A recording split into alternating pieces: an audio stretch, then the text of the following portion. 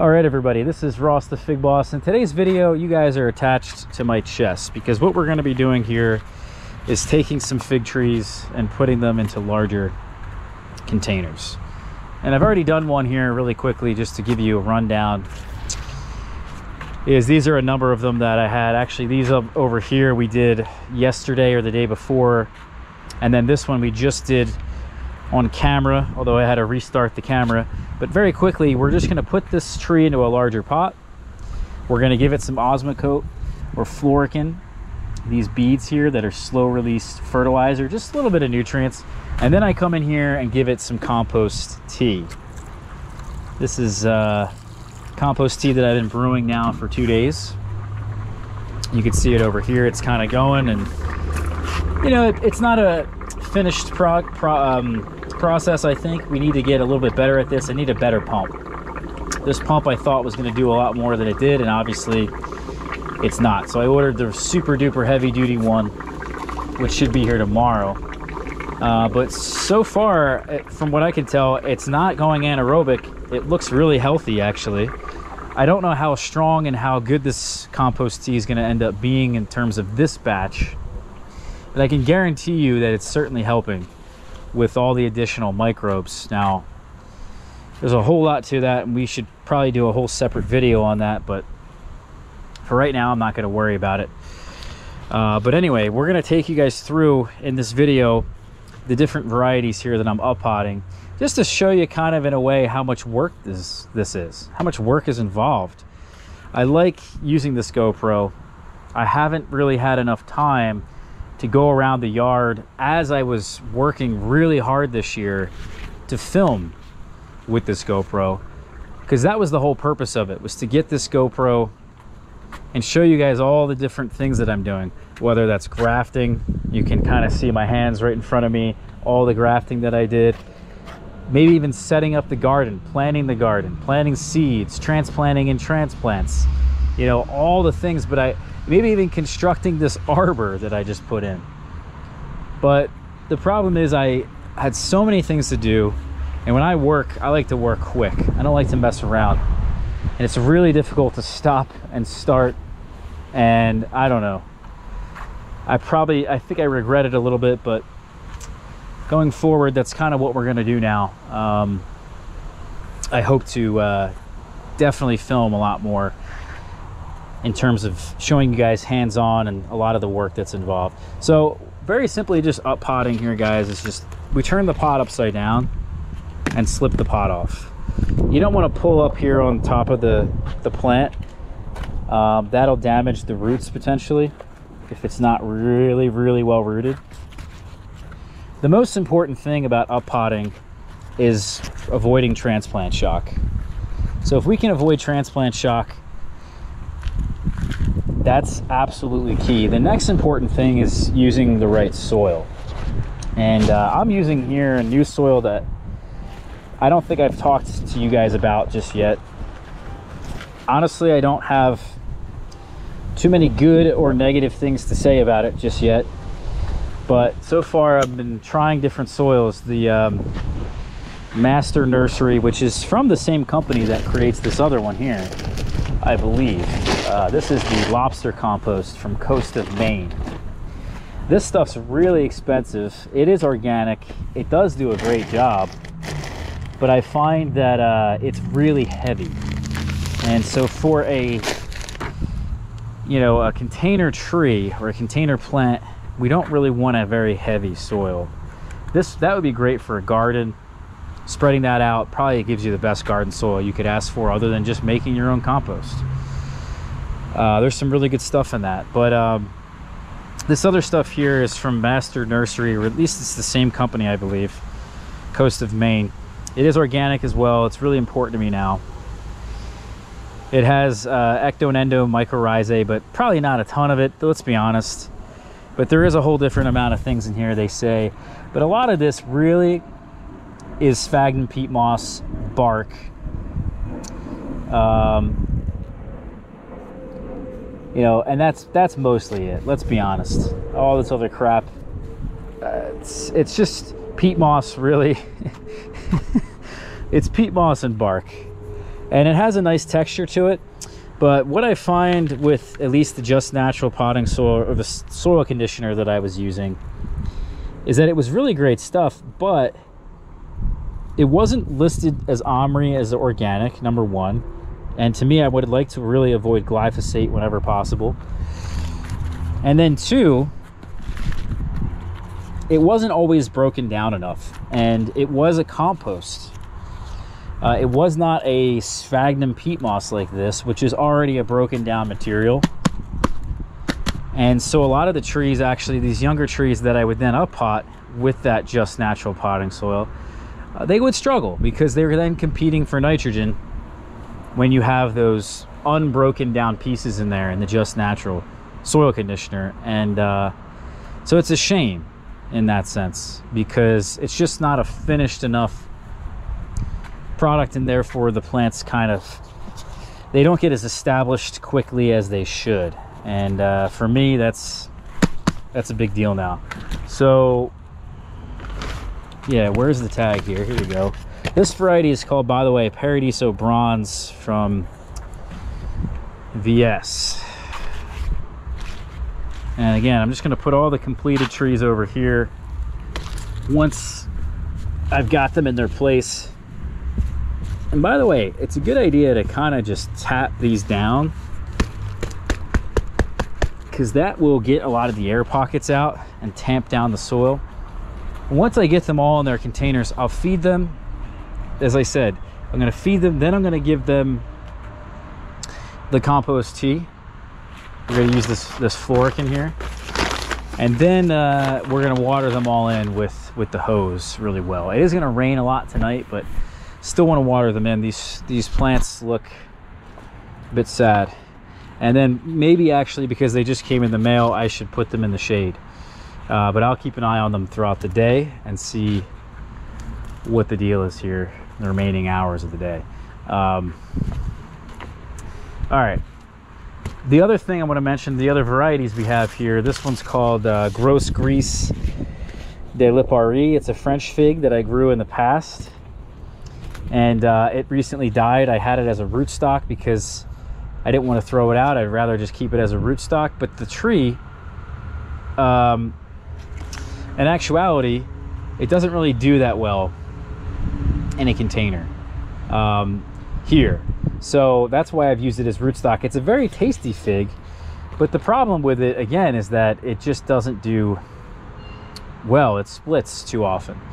And uh, by planting this in the ground is actually my plan. I'm going to put this one in the ground. I totally forgot about that.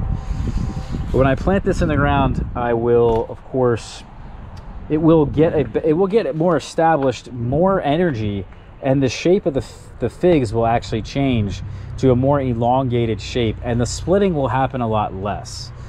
And uh, for me, that's the only real way I can actually grow this fig. Otherwise, it's a total waste of my time but I figured I would try it out uh, to see if in the ground it would actually succeed.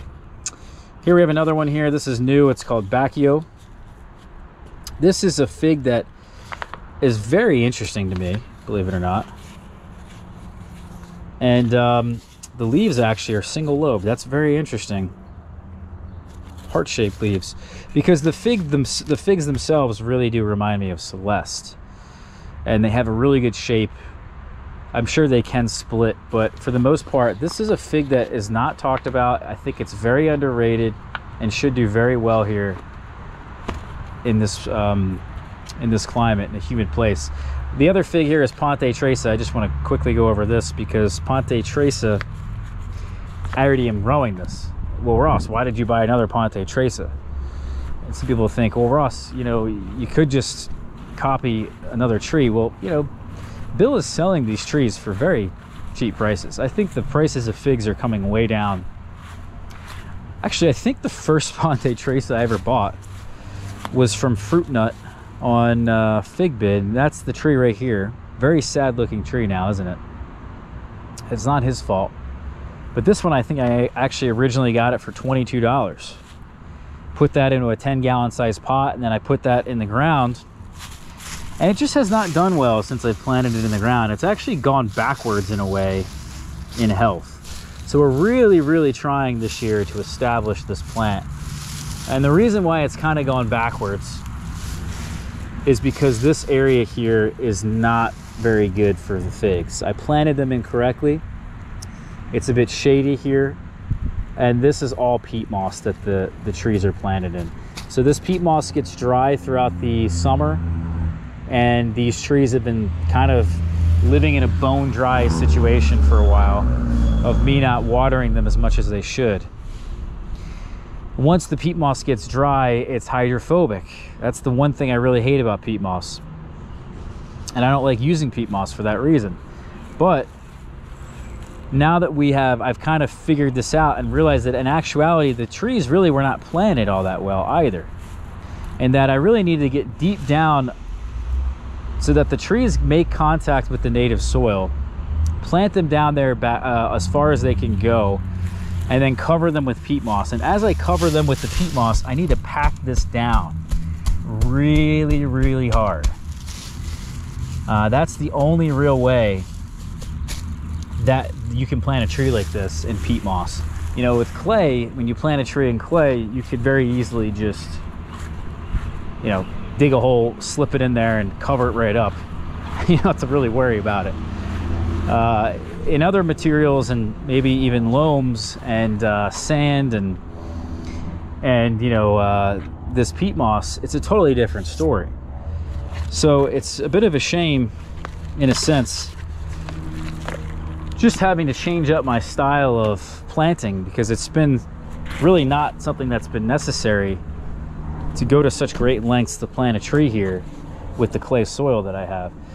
But since, again, you know, I've learned my lesson. I had to come in there this year and I tamped down the soil really, really well around the, the roots of these trees, around the root balls.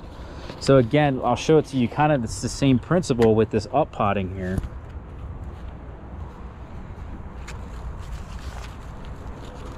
Is when I put this in the container, you really want to press down around the root ball.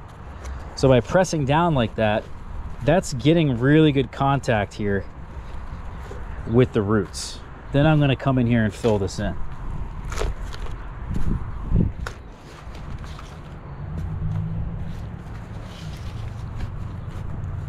We're going to give it a little bit of a tug, a tamp, whatever you want to call it.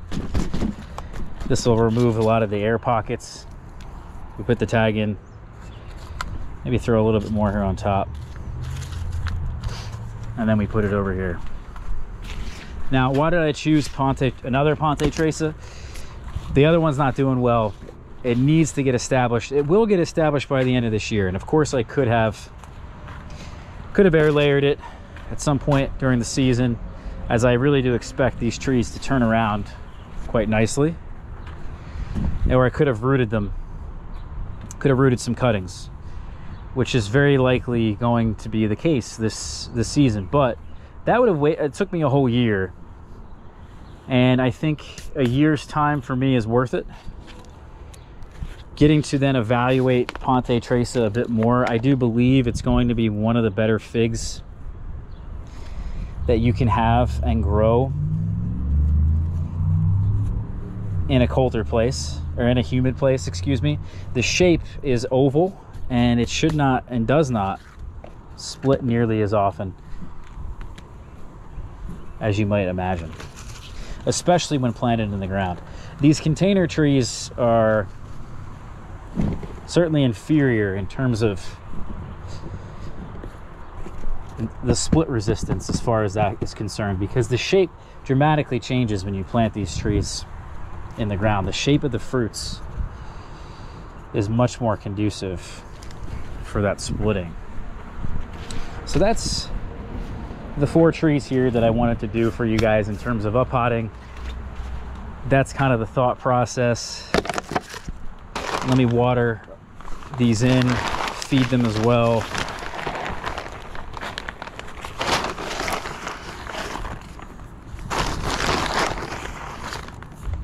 A little bit of Osmocote. There we go. Here's the compost tea. Give them a shot of this. Really don't even know how much to give them of this, but there is an endless supply of it, so I'm not like I'm stingy or anything, but I wonder if, I'm sure there is such a thing as too much. But for now, that's what I'm gonna do. And then of course, we gotta turn on the irrigation really quickly. Water these guys in with the hose. Here's my irrigation. Very simply, I put manual, the second station for five minutes. This will kick on. This is the second station right here. It's on. Just heard it click. And then I have to come back over here actually. And this connector, I need to switch this over. Weird setup. Probably a better setup, but it is what it is. That is hot water. And that's good. Hot water is good because we want the soil temperatures to be warm. I'll water these trees in really, really well. The nice thing about these um, fabric pots is you could see the water hit the sides and kind of drench down. And it kind of gives you a good idea of when the water is really throughout the entire pot. You guys can even see what I'm doing right now.